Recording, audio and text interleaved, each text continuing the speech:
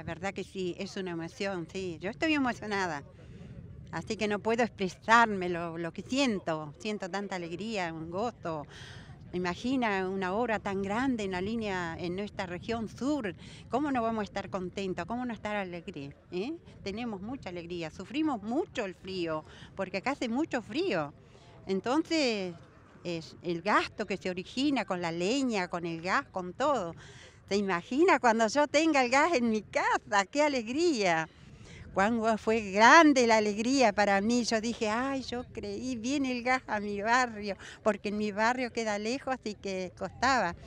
Y digo yo, bueno, voy a comenzar a comprar todo, a preparar todo, así que ya tengo toda la instalación, los calefactores, me falta la conexión nomás.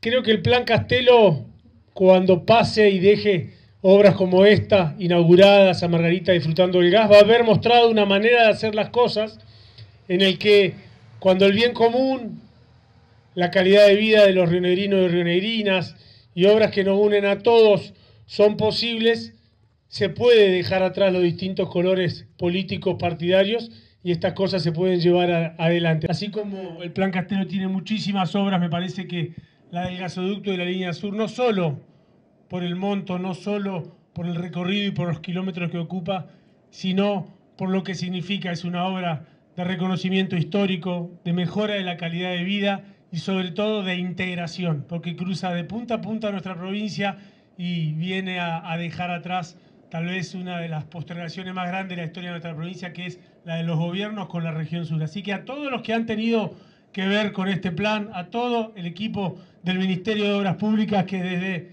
que se sentaron a proyectar hasta que se están inaugurando la obra han laburado incansablemente. Felicitaciones a todos, gracias a lo que lo hicieron posible y Margarita en nombre suyo a todos los vecinos de la línea sur. Felicidades.